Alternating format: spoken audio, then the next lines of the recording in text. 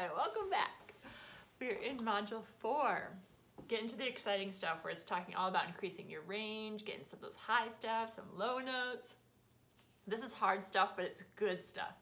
And it's the things that make your voice the best, honestly. It's what makes it the difference of the people who just kind of sing for the heck of it and the people who know how to do it well and who can make a song just sound amazing and those belting notes. And when someone just rocks that high note, you're like, yes! And that's what I want for you. That's so exciting. So it's really all about your break today. Now, this is something that took me a long time in college to get. So just mentally prepare yourself that might not be one of those things that you just click right in and it happens right off the bat for you, but it might be, take a lot of practice. It might take a lot of these warm-ups that I'm giving you. It might take slowing down a bunch and checking your body and checking your open breath and your yawning and all those building blocks that we gave you earlier on in these different modules. So this is really important. If high notes is the main thing that you've been really excited about getting to and you just jumped ahead and jumped into this module first, please go back, look at the other modules first and then work your way to this. Because like I said earlier, each of these things are building blocks. Your deep breath is super important for reaching those high notes. And if you haven't done module one and really worked with your diaphragm and getting really deep, deep stomach breath like that in there, it's really gonna be hard to get your high notes. So make sure you do module one, two, and three, relaxing the body, all those different things, the yawn breath before you come to this module and work through this one, okay? It's very important. Now, this module and the next module five are gonna go kind of hand in hand because it's all about um, singing through those harder notes and those high, that higher section and the different placement. The next one is on the hard palate, which is the roof of your mouth. If you can feel it, it feels really hard. It's called your hard palate. That makes sense, I hope, for you. We'll get into that and there'll even be more explanation of it the next thing around and we'll give you some better warm-ups for how to how to feel when it's in the front of your face on that hard palate First, when it's in the back of your throat. If you can feel the back here, if you feel it feels really soft, it's called your soft palate. We're gonna touch on that right now in this lesson really briefly, but next lesson there'll be a lot of explanation for it. So in case you're still really confused at the end of this lesson, don't worry, this one isn't for explaining that. It's just, um, we'll get into it in a little bit here, so hopefully you can understand a little bit of just what I'm talking about when I say to aim things towards the front of your face or your the hard part of your mouth. That's what I'm talking about, that hard palate, the roof of your mouth, all right? Now, here's the fun thing about this. So you have two different voices technically. It's called your chest voice, which are your low notes. And the reason they call it actually the chest voice is because that's where your sound is going to be resonating. So if you sing a low note with me, like boo, or any low note that you have, do, do for the ladies, or boo for the men. If you feel that your chest resonates, you can actually feel it on your hand like this, like that. Now, if you sing a high note, you feel it in your head resonate, so we call that your head voice, okay? I'm gonna be talking, flipping back and forth talking about those, so I want you to have an idea for what I'm talking about when I say that. Now, here's the thing that we are not going to do during this lesson, or coming up in the future. You might have done it in the past, but that is your past singing voice, and now you're onto a new free singing voice and a free you. So, coming up, here's what I want you to be very careful that we are not doing. We don't want to avoid the high notes. I know I've had multiple students who just say, oh, I'll just sing all my songs down low because I can't get to the high notes. Bummer. That is a huge bummer. You don't want to avoid those high notes. Those belting notes sometimes are the most powerful, the most amazing songs have those high notes in there that you can just soar. You know what I'm talking about when you've heard someone hit that note and it's just like ba-boom. And you're like chills in your whole body. I just love it. So we're not going to avoid the high notes from now on out. We are not going to be scared and back down, okay? We are not, however, also, we are not going to just push your chest voice up higher and higher and higher. Remember, I said the chest voice is your low notes. Do. So you're not just going to keep pushing, oh, won't you stay with me? Okay, you're not going to push for your low notes up higher into your head voice where you technically shouldn't be okay? Your head voice is with your high notes. What we're actually gonna do in this module is attempt to have a, a combination, a blend of the two and call it your middle voice, okay? So it's not gonna only be your high, doo, not gonna only be your low, boo, but it's gonna be a beautiful combination of the two, all right? It's gonna be stay with me. That'd be great. And you won't be able to tell necessarily when you're going from one or the other, it'll be just a really smooth combination, which is what we're going for. Now, one other thing that we are not going to do, and the last thing, is we are not just going to sing light. You can sing light and still hit the notes. Oh, won't you stay with me? Cause you're all I need. That's still hitting the notes technically, right?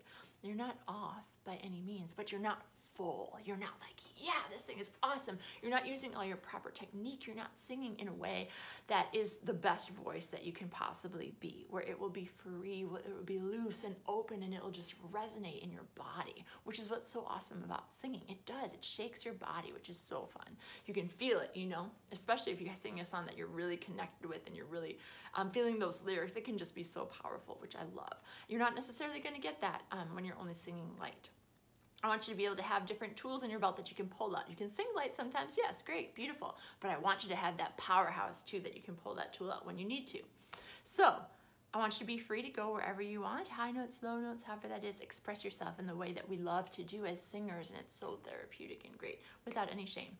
So super important part that we talked about last module, I want to especially emphasize that you're making sure as you're singing in this lesson that you're not feeling tense in your shoulders, in your jaw. We want to get rid of all that tension. So as we're singing through these higher notes and, and through this break, you're going to be um, not tight at all. Okay, we don't want that tension. The tension it will actually keep us from being able to get the full open sound and it'll actually cut off the air in a way that it'll just be like, stay with me. It's like Russian roulette with your voice. You kind of are going for that high note when you're singing tense and when you're singing squeezing and pushed and you're not really sure if you're gonna hit it or if it's gonna break or crack and you, I never want that and you don't want that either. So here's what we're gonna do. We're gonna start with one of my favorite warm-ups. This one is just called EO and it's gonna go like this. Mm. It's gonna go.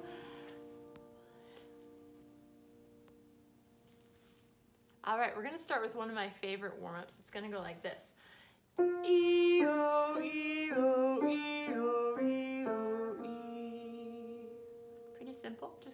And forth, back and forth. But the E is the checkpoint. So every time you get to an E, I want you to feel it in the front of your face. Some people call it the mask of your face like this. I call it your hard palate because it is the roof of your mouth. E. Now, if you're having a hard time feeling the E, singing is just as much mental and trying to get aware more and more of your body as it is um, technical. So if you, at first, it's sometimes it's hard to feel for people. If you want to do an ugly E, sometimes it's easier to feel the stronger the E that you do. So you can make it almost sound like the Wicked Witch of the West, like E O E O, which is all right for right now until you can feel it. If you start feeling it, then you can back off a little bit more and just have a beautiful E O E O E. But every other one that you're going back to those E's, it's your checkpoint to feel. Am I feeling it in the front or is it only back here? Hear that light singing? You don't want that. You want all in the front, like it's coming out. Almost like those magicians that pull the, um, you know what I'm talking about, that pull the flags out of you. It's almost like that, E-O, E-O, E-O, focusing out instead of letting it stay back here. All right, let's go through this more and see what we can do. Big breath.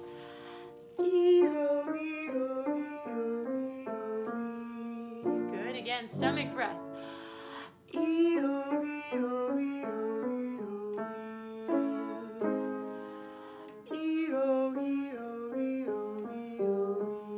Good. Two more of these low ones, then we'll get to that high section.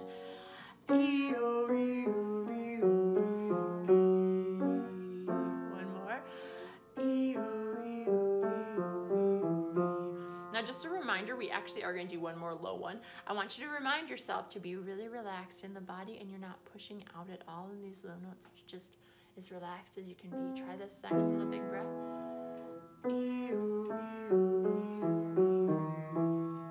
Good. Now, we purposely start with your chest voice because it's a little bit easier for most of the people. Now we're gonna get to the good stuff where you might start feeling the break. We're starting at right, this first note for the ladies that might start to feel like a break. Just remember as we go up, if it's having a hard time coming out, you're like, or it's feeling it's flip-flopping back and forth a little bit, that's okay. We're gonna get there. Just keep trying to feel this E in the front. E. Okay, you ready? Get the biggest stomach breath you got. E, o, e, o, e, o.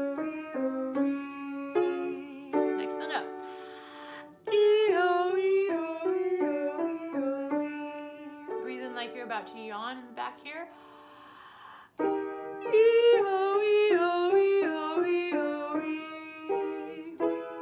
Three more.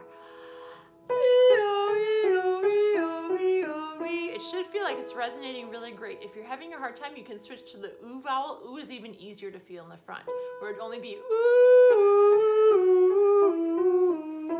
and feel that sound, feel it resonating.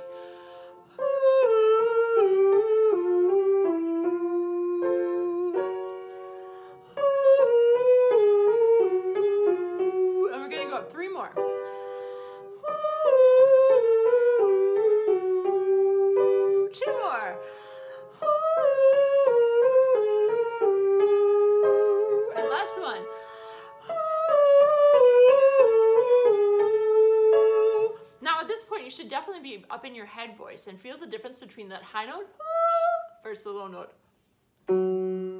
Hopefully you can feel that and starting to get more and more comfortable knowing which is which. So when you're flip-flopping it, you can feel that. I want do one other little short thing where we're going to go E, O, E. The words are just E, O, E. It's just going to be a little quick jump, but I want you with both of the sounds E and Ho, E. Don't let it sink back here to E. Ho. Almost use an H to like blast it out, almost like if something was stuck in your throat. Ho. Try that. E, ho, E. Good job. E, ho, E. This is super good for when you start doing jumps in the songs. E, ho, E.